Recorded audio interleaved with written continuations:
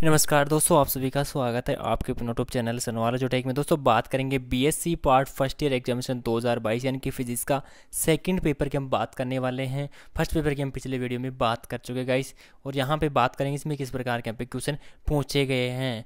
और किस यूनिवर्सिटी का गाइस ये पेपर है, आपको इस वीडियो में जानकारी देने वाला हूँ। बात करेंगे सबसे पहले जो फ़र्स्ट का जो फ़र्स्ट क्वेश्चन है, उसके बारे में बताऊँ। यहाँ पे ए दे रखा है, अधीश क्षेत्र की पूर्णता के भौतिक महत्व को समझाइए, यानी कि ये डेढ़ डेढ़ नंबर के क्वेश्चन है।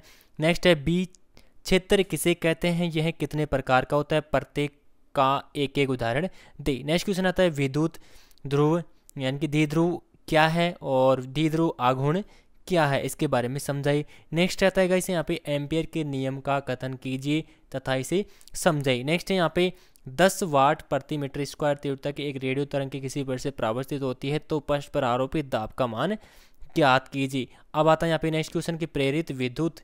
वैद्युत द्विद्रव और जो प्रमाणिक ध्रुवता को समझाना है, उसके बाद में गई यहाँ पे आता है यूनिट फ़र्स्ट की हम बात करें तो सेकंड क्वेश्चन के अंदर ए बात करेंगे यहाँ पे। किसी सदिश क्षेत्र के डाइवर्जन की जो परिभाषा, उसके बारे में समझाई। बात करेंगे यहाँ पे नेक्स्ट दे रखा है कि कार्तीय निर्देशन की जो सदिश क्षेत्र के डाइवर्जेंस के संबंध में व्यंजक प्राप्त कीजिए और इसका जो भौतिक महत्व है, उसको समझाइए। उसके बाद में यहाँ पे आता है बी पार्ट बी पार्ट में दे रखा है सिद्ध कीजिए कि किसी स्थित, स्थिति सदी से यहाँ पे राशि दे रखी है, उसके मान को आपको समझा नेक्स्ट बात करें, इसके अंदर अथवा में भी दे रखा है तो अथवा वाला भी देख सकते हैं यहाँ पे।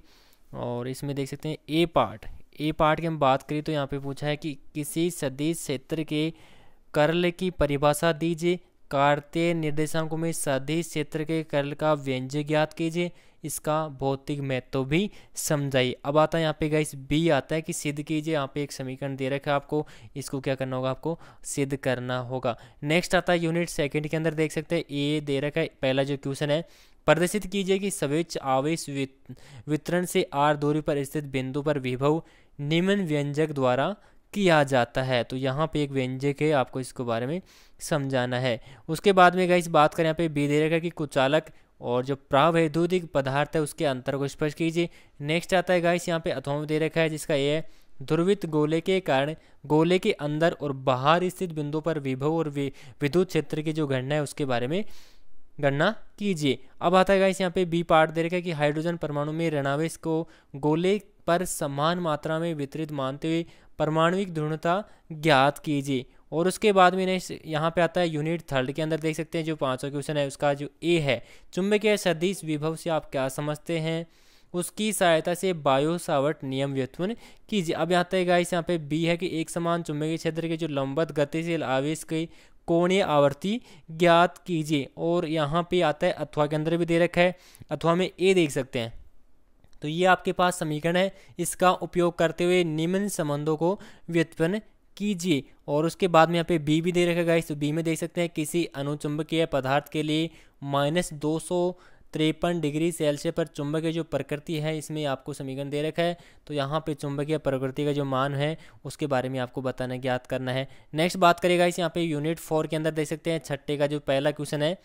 विद्युत चुंबकत्व से संबंधित भौतिक नियमों का उल्लेख करते हुए मैक्सवेल के समीकरणों का अवकलन अवकल ज्ञा जो सॉरी, अवकल रूप में प्राप्त कीजिए। नेक्स्ट आता है यहाँ पे विस्थापन धारा की जो व्याख्या है, उसके बारे में।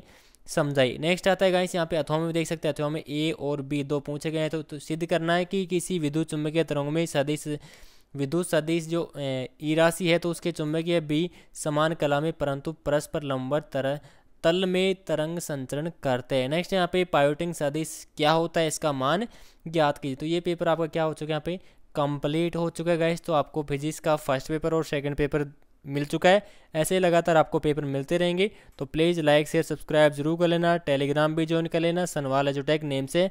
Thank you